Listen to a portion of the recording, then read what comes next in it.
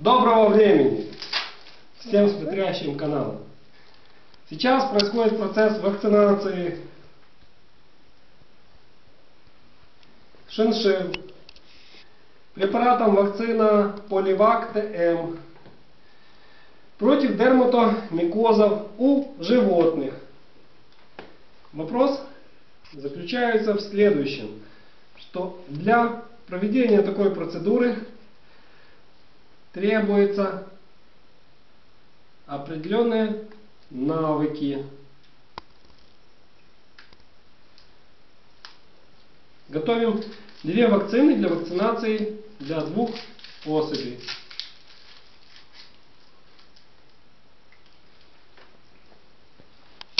Можно взять более крупно. Вакцина рассчитана на две инъекции.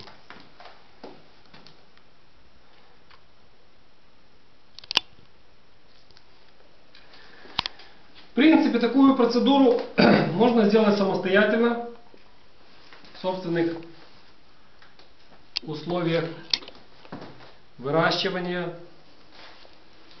Шприцы после набора вакцины, э, сама ампулка распределяется на две дозы, и она рассчитана на то, чтобы устранить повреждение э, кожных покровов у э, животных. Вот, удаляем воздух из шприца. То есть готовятся две дозы. Вот, относительно анатомических условий инъекция делается внутримышечно. Значит, э, животное есть небольшим. Значит, придется найти небольшое место для проведения инъекции. И сейчас мы это продемонстрируем. То есть две инъекции готовы. Э, данные повреждения часто встречаются у животных такого вида при искусственном выращивании. Поэтому случаются э, такие моменты, когда приходится их нужно, э, когда приходится их вакцинировать. Возникает определенная трудность при вакцинировании таких животных, потому что животное небольшое и попасть внутримышечно, э, притом не придав стресса для такого животного, не всегда представляется простым и не всегда представляется возможным.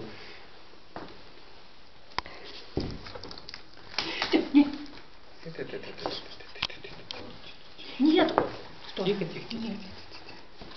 Легонько. Не дам. Не дам. Предоставляем.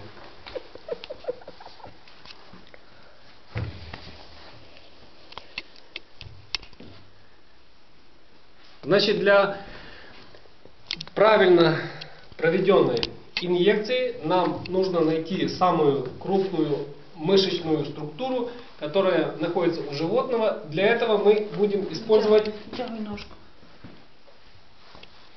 такие вот моменты. Ищем более-менее крупный седалищный э, мышечный, мышечную структуру.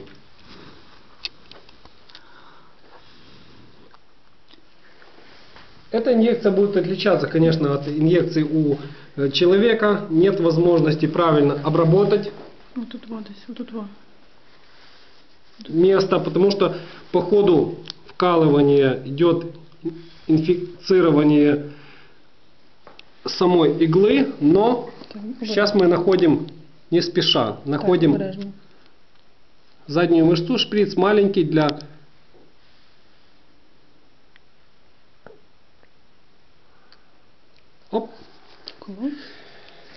Шприц маленький для проведения инсулиновых инъекций.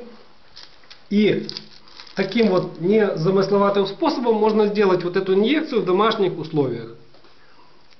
То есть тут видно, мышка купалась. И все.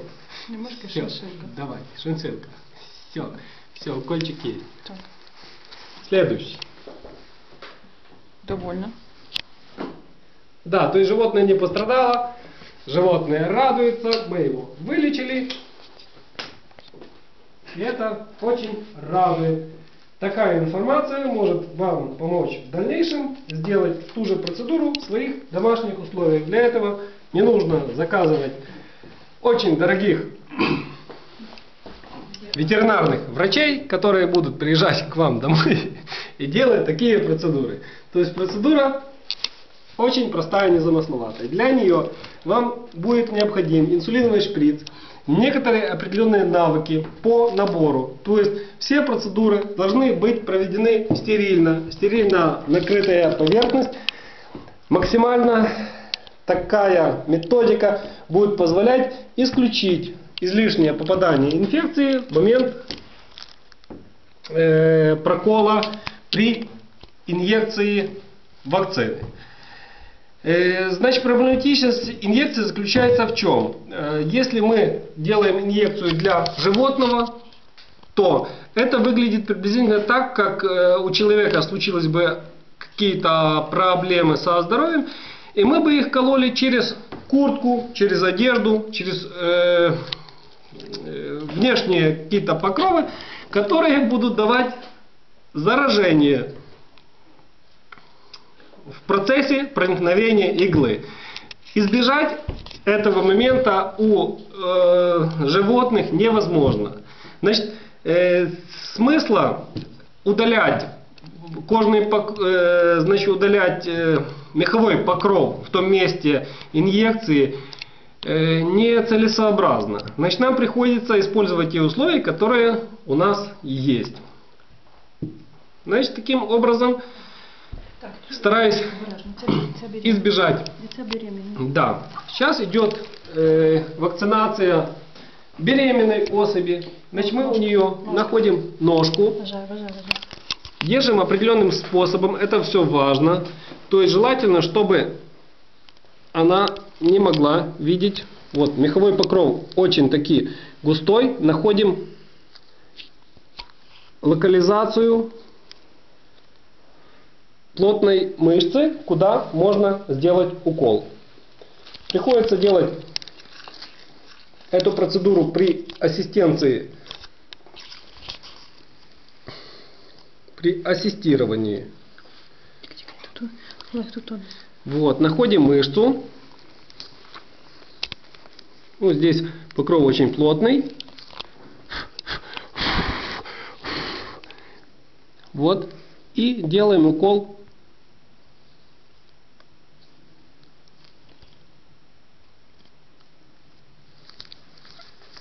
Все. Животное даже не заметило, что произошло. В принципе, здесь, наверное, идет период какой-то определенной своей возрастной или другой эм, линьки, которая касается ну, каких-то физиологических моментов. Вот таким образом, если вас интересует вопрос, как правильно сделать вакцинацию шиншиллы в домашних условиях, можете посмотреть и делайте то же самое. Мышке нравится, мышка здоровая.